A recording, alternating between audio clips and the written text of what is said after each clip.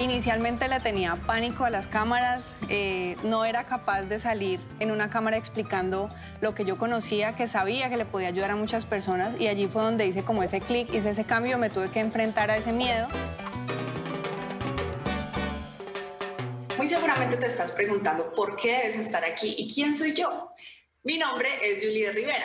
Cuando nosotros arrancamos con todo el proceso de formación a través de estas escuelas, eh, teníamos muchas falencias a nivel interno de nuestra empresa y eso no nos permitía avanzar. No teníamos una claridad de cuántos eran nuestros ingresos, cuánto gastábamos y en qué.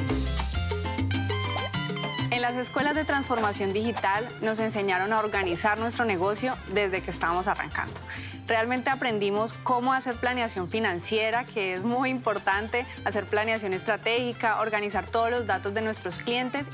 Podría explicarles todo en este tablero, pero realmente no sería divertido, sería bastante aburrido. Así que vámonos a un lugar mucho más cómodo para aprender de todo esto. Desde que arrancó la pandemia tuvimos que hacer una transformación de la forma como veníamos trabajando.